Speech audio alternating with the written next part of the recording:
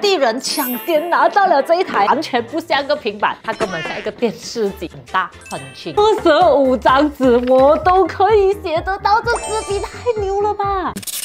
感谢大家，我遥遥领先了。马来西亚地人抢先拿到了这一台全球最轻最薄的超大屏幕华为最强平板，华为 MatePad Pro 十三点二寸。这里就给大家整理出来一个最完整的开箱体验，看一下这一台华为 MatePad 十三点二寸真的有没有可能，或许是最强旗舰的平板电脑嘞？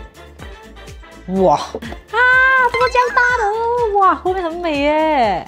的说明书八十八瓦，还有数据线。OK，这个东西为什么叫东西？它完全不像个平板，它根本像一个电视机。最真实的感觉啊，就是它很大很轻。然后这么大的平板来讲呢，它很薄，它怎么可以做到这样薄？我是不懂啊。我拿到的这个是主打颜色雅川青啊，这个色如果你有看过 Mate 60 Pro 真机的话是不会陌生的啦，因为就是一模一样的青色啦，只是平板的话呢，它就没有水波纹啦，是类似磨砂的设计，摸上去呢是很舒服的一个感觉，而且最重要哈是不沾指纹啊，十三 MP 加八 MP 的镜头模组，它就用了一个双圆形的设计，稍微凸起来一点点，所以如果你裸机平放在桌子上面的话，它是没有办法达到真正的平放的啦，前面。这块十三点二寸的二 K 三二比例屏幕，第一个采用了柔软 OLED 屏幕材质的平板啊，也因为这样呢，它才能够做到三点四 mm 的超窄边框。成为全球最高屏占比的平板电脑哦，这样窄的边框会不会很容易误触嘞？你看我这样子用都是完全没有问题啦。另外还有就是哦，它配合这个超窄边框设计，它只可以做成刘海的这个镜头啦。我是觉得这样的设计让它看起来更加高级啊。你想象一下啊，如果旁边这边做一个打孔，是不是很 cheap？它现在是不是很 classy？而且哦，从细屏到打开那一刻，有没有震撼一下那视觉 impact？那 MatePad Pro 十三点二，它整个外形最大的卖点呢，还是轻薄这一件事情啦。它整机就只有五百八十 gram 重量罢了，拿在手上呢，也就差不多好像拿着两罐 Coca Cola 一样这样轻松啊。薄度的话呢，只有五点五 mm 而已。这里大家也可以看到，它和 Samsung 的 Tab S9 Ultra 一样薄。对比苹果的 iPad Pro 十二点九寸，就薄了将近一个 mm，薄到什么程度？比一支笔还要薄啊！能够做到这么极致，我真的觉得华为的设计师应该要大员工。那可能有人会问，为什么这个 MatePad Pro 十三点二寸要做成这个三二的屏幕比例嘞？我是觉得哦，华为没有把它当成一个平板来设计，它是完全当成它是一个 laptop 来做。因为这个嘞，比起 iPad 的四三比例设计，三二比例显示的内容就更多咯。比如说你阅读电子书的时候啊，上网找资料或者是处理文件档案的时候等等啊。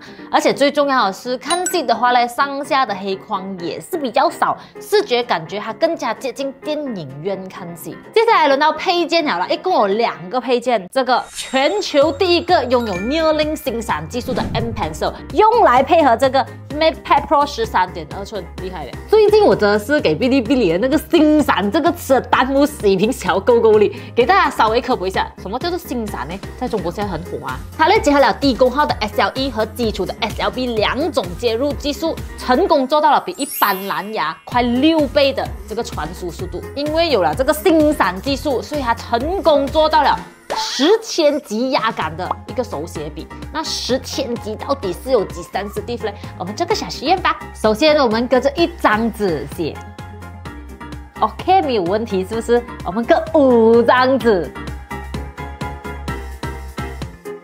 也是可以，是吗？OK，我要加码二十张纸。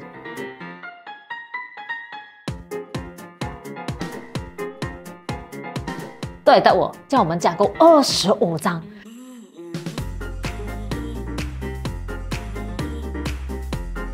竟然也是可以，有没有太夸张了？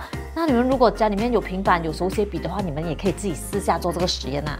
各位观众，二十五张纸我都可以写得到，这纸笔太牛了吧！第三代的 M Pencil 在外形上面基本没有任何的改变，但是它达到了超低延时、落笔快、收笔准。简单来讲，就是你一下笔，它就跟一画，做到了真正的和真笔一样的感觉。那这支这么牛的 M Pencil 到底卖多少钱呢？答案是。五，三千，因为它是跟着 Mate Pro 十三点二一起来的。另外呢，华为也是有推荐一些免费的绘画 App 啦，对一些插画家、底色来讲应该是有用的。可是我画画没有厉害，所以我这边就不要给你们看啦，不要下水。它的精准度也是很高一下的，大力一点、粗一点、小力一点的话就会比较细啦。哎，第二个配件除了喷色之外呢，这个也是一起来的，小力。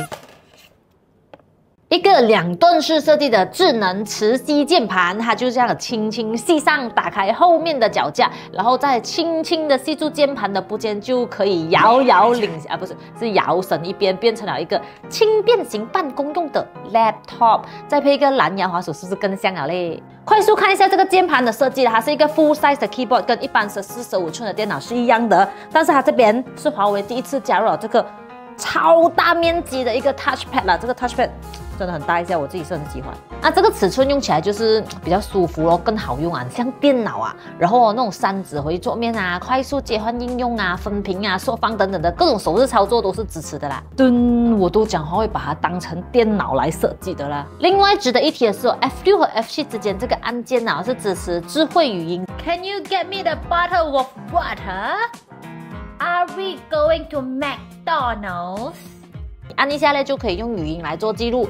最后看一下这边，Windows 线变成了 Home OS 线啊，用处和用法和一般 Windows 电脑相似。换成这个按键，意思难道是说华为明年真的是会出自己的 OS Home OS，不用 Windows 了？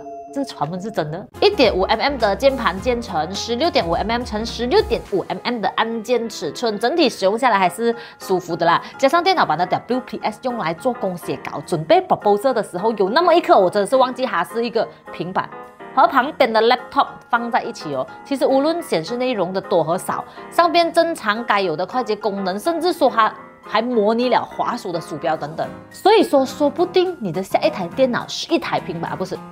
是你的下一台电脑可以是一个平板了。那接下来你们最关心的问题就来了啦，Mate Pad Pro 十三点二寸它到底用的是什么芯片？你们答对了，就是跟 Mate 六十 Pro 用的是一样的麒麟九千 S 芯片呐。我已经提早下载了这个 App 啦，真的是麒麟九千 S，遥遥领先。用来看戏、玩跟娱乐体验上面也是很 smooth 一下。有兴趣想要知道更多，你们可以留言给我啦。有机会我下次专门做一集测试你给大家看一下啦。总结之前呢，也跟大家快速的分享一下，这台 Mate Pad 它搭载了这个华为烧的音频技术，它内搭了六颗扬声器，其中四颗是低音炮，所以爱听歌的朋友，你们听听下来评评个理了哈。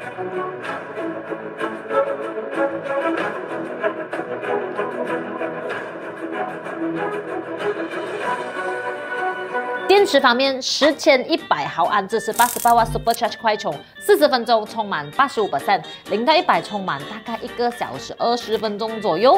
除此之外呢，那 Mate Pro 十三点二一样支持 Super Hub 超级终端技术，可以快速方便。连接或者切换其他的华为产品，或者互相之间传送文件等等。那华为手机你打开 NFC 的话，也是可以直接碰一碰那个键盘就可以完成这个多屏互动啦。那我唯一比较不满意的就是，如果拿来玩 game，好像真的有点太大个了，基本按不到中前的位置。把我下一下用键盘滑鼠玩 Mobile Legend 和原神体验是蛮接近电脑的啦。OK，总结讲真啊，这一台 Mate Pad Pro 十三点二寸，它真的有。遥遥领先的这个感觉，它不只是口号而已啊！全球最轻最薄都不足以去形容它。第一款支持 Neuralink 技术和 Mate 60 Pro 一样的处理器，但它的强大远远不止于此，它还配备了全新的 M Pencil 蓝牙键盘，好像让它更加强大又再强大了。目前最强平板这句话，我个人觉得没有问题。那么重点来了啦，这一台华为最强平板 Mate Pro 十三点二寸到底卖多少钱呢？